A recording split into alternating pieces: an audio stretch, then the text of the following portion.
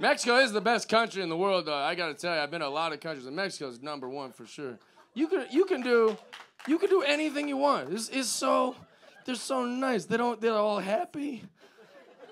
They're all such good people. They don't give a shit. They- They're poor. They're not crying like, "Oh, I don't have a Bugatti." They don't care. They're all happy people. They're all they're generous. There's, so- there's no laws. you know what I mean? Like we have so many laws, you know. Cops like, hey man, you can't pee there. You're like, ugh, ugh, this fucking, ugh, these pigs always, ugh. Mex- Mexico don't give a shit. Mexico, you can drink and drive, and the officer's like, all right, give me your shoes. You're like, all right. That's the whole process, you know. I lost three pairs of Jordans, no DUIs, you know.